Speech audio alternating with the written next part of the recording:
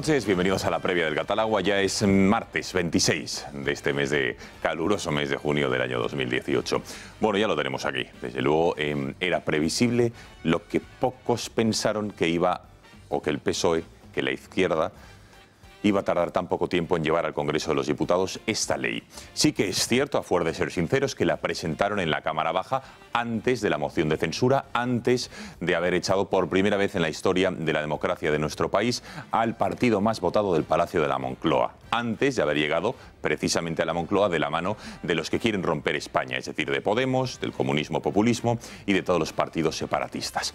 Antes de todo ello, el PSOE presentó la primera semana de mayo esta ley, pero en cuanto ha estado el gobierno, digamos que han agilizado los trámites para que se apruebe en nuestro país una ley de, eutanasia. Ahí ven, ¿recuerdan la imagen de la ley del aborto cuando Viviana ido en el Senado? Una fotografía que va a pasar a la historia, como em, em, explotaron exultantes de gozo por aquella ley que desde luego está haciendo que en España mueran o se maten a más de 100.000 bebés no nacidos. Pues aquí ocurre algo similar. Ayer uno de los candidatos em, a las primarias del Partido Popular dijo que Pedro Sánchez va a pasar a la historia como el presidente de la muerte. Y desde luego si atendemos a lo que va a significar esta ley, algo de razón tiene. Fíjense, todos los partidos, por cierto, han votado a favor, incluso Ciudadanos, que se iba a abstener, finalmente ha votado a favor de que se tramite esta ley. Ahora tiene que pasar los siguientes pasos, que son las enmiendas, las comisiones en el Congreso, después ir al Senado, donde el PP, como saben, tiene mayoría absoluta, probablemente va a ralentizar su aprobación, pero volver al Congreso por mucho que el Senado la vete y en el Congreso será aprobada. Y es importante que sepan ustedes que Ciudadanos está a favor de este tipo de normativas. En España, y les damos el dato, 60.000 personas aproximadamente mueren al año con sufrimiento intenso, dicen, y evitable. ¿Y por qué sería evitable? Dicen los expertos, dicen los médicos, entre otras cosas porque se evitaría con buenos cuidados paliativos. Ese sufrimiento se podría evitar y en vez de haber hecho una ley para evitar ese sufrimiento, directamente se ha ido a la eutanasia, que como saben ustedes es la ley que permite que alguien, un paciente que está sufriendo, muera, ya sea de manera pasiva, o, eh, es decir, quitándole los, mm, la, maquinaria que le mantiene con vida, o de manera activa, es decir, con una pastilla o inyectando algo en sus flujos sanguíneos. La función del médico, y aquí lo vamos a defender siempre, es la de gestionar la vida y no la muerte. El dilema que se abre sin lugar a dudas es leyes para eliminar, ya que hay un matiz claramente importante, el sufrimiento de las personas o por el contrario, leyes para eliminar a los que sufren directamente. Eliminemos el sufrimiento. En vez de ayudar a que ese sufrimiento, digamos, sea más llevadero, se elimina directamente a la persona. Y es directamente lo que se va a conseguir con esta ley. Esta noche vamos a hablar en el programa profundamente sobre ello y vamos a tener a expertos. Así que si les parece, comenzamos.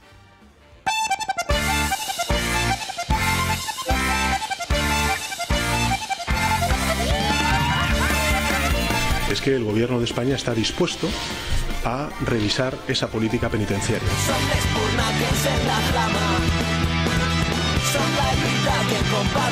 Iglesias está actuando como un vicepresidente en la sombra. Presos catalanes a, a cárceles de Cataluña.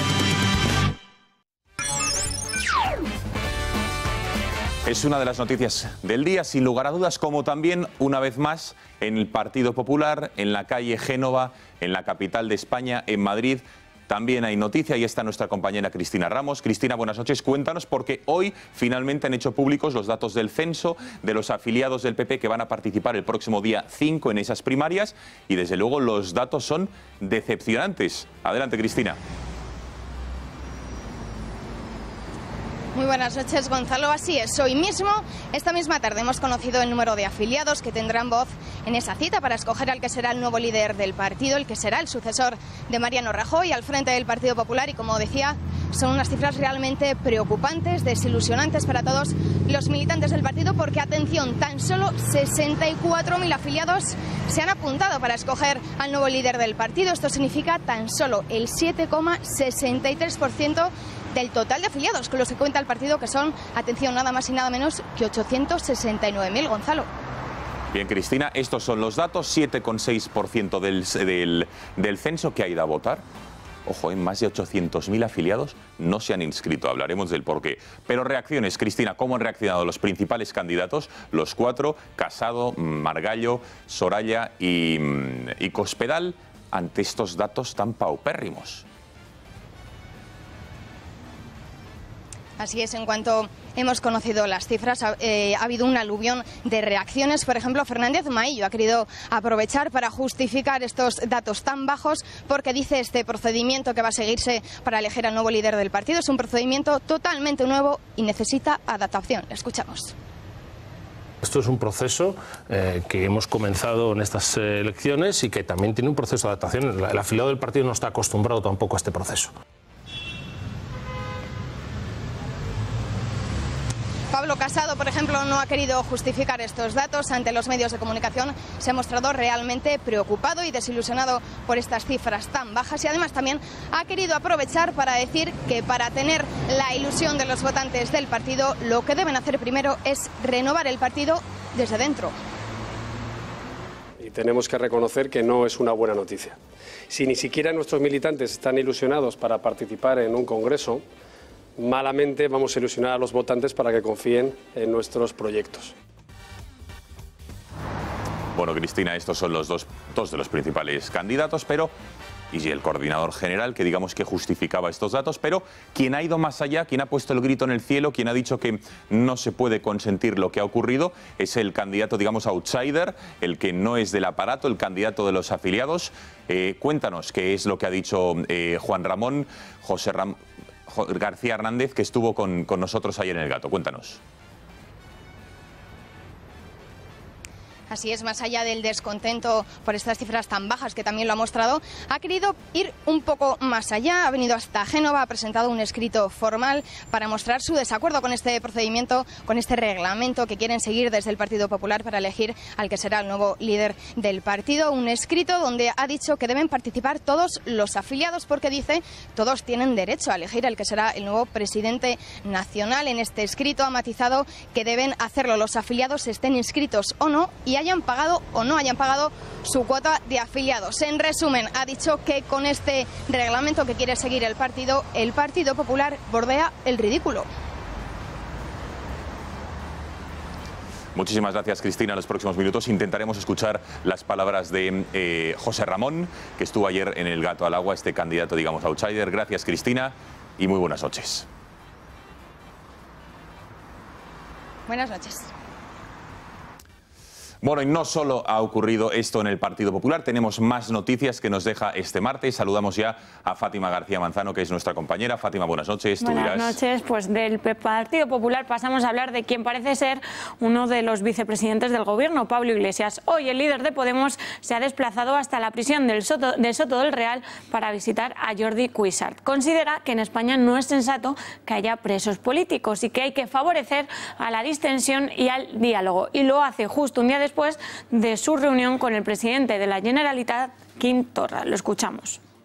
Lo primero que quiero decir es que no deberían estar en la cárcel y creo que la excepcionalidad hay que dejarla atrás y que el conflicto con Cataluña se tiene que resolver por mecanismos democráticos y el diálogo. Es interesante los pasos que está dando el Partido Socialista. Ayer se reúne con Quim Torra y dice lo que dice. No solo el acercamiento, sino la libertad. Hoy se va a reunir con ellos. Es decir, de alguna manera, lo decía Rafael Hernández, lo escucharemos en los próximos minutos, no sé si tenemos ese corte para poderlo escuchar ahora, incluso como el todavía portavoz del Partido Popular en el Congreso de los Diputados decía textualmente que parece que Pablo Iglesias sea el emisario, el enviado de Pedro Sánchez para las gestiones, digamos, de negociación con el separatismo, vicepresidente. Lo intentaremos escuchar, lo escuchamos.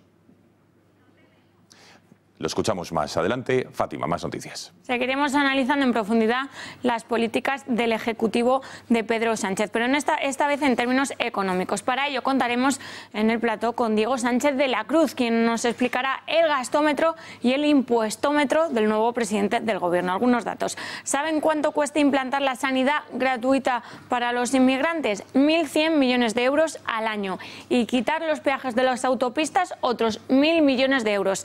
¿Y de dónde saldrá ese dinero? Pues adivinen, de su bolsillo.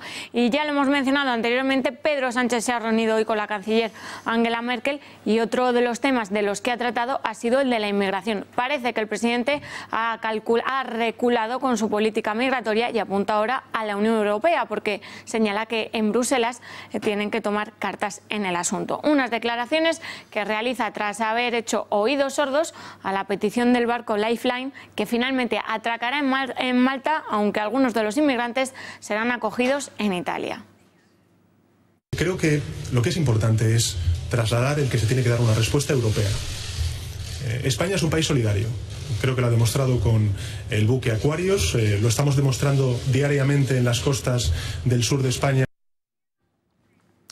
Bueno, Pedro Sánchez vuelve otra vez a dar um, giros intentando adaptar con marketing, con las fotografías que vende, de cómo esa imagen presidenciable con los líderes de la Unión Europea, con Angela Merkel, incluso imágenes de, marketing intentando vender cómo es un presidente con las fotos en el Falcon, lo hemos visto con esas gafas intentando emular, no sabemos si a Kennedy o a quién. Desde luego está en eso, porque de contenido más bien poco. Lo que importa realmente, lo que nos va a afectar a todos son las medidas de calado, las vamos a estudiar en profundidad esta noche, como ha dicho Fátima, con Diego Sánchez de la Cruz, y desde luego se van a quedar atónitos de cuáles son las pretensiones, los objetivos, a falta de medidas concretas. Está atado por el nacionalismo, por el separatismo, con la mayoría absoluta del PP en el Senado y está tan atado que solo puede tirar de fuegos de artificio y gestos de cara a la galería. La imagen del día, Fátima. Pues la imagen del día la van a ver en sus pantallas ahora mismo. Íñigo Méndez de Vigo y Soraya Sáenz de Santa María han decidido desconectar de la campaña del PP en la taberna andaluza de Melilla con un karaoke.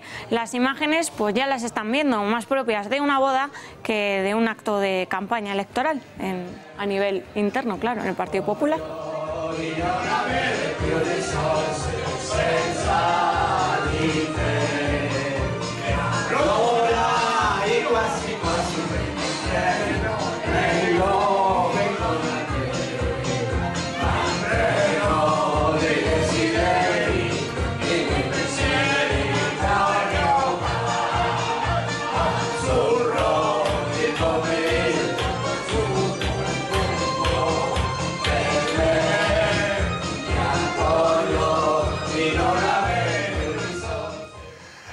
Soraya Sáenz de Santa María ya bailó, recuerden, en el programa El Hormiguero de entretenimiento de Antena 3, como en las, en las elecciones a la presidencia del gobierno fue como vicepresidenta y bailó, está claro, también fue DJ, recuerdo, en un acto del Partido Popular en la Plaza de Colón, una imagen que va a pasar a la posteridad, como ella estaba pinchando y dándolo todo, entregada a la causa de la música, sin lugar a dudas. Parece ajena la diputada del Partido Popular y la candidata a la presidencia de la formación de los males que, que aqueja su partido, que ya está en la oposición y que la última encuesta que se publicaba ayer daba menos de 80 diputados a la formación que aspira a dirigir.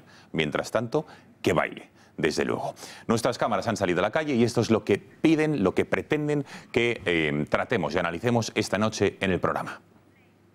Un tema muy importante ahora mismo es bueno, los retos que tiene el nuevo gobierno para afrontar en la sociedad. Así que a ver cuál, cuáles van a ser las soluciones a los problemas de los españoles.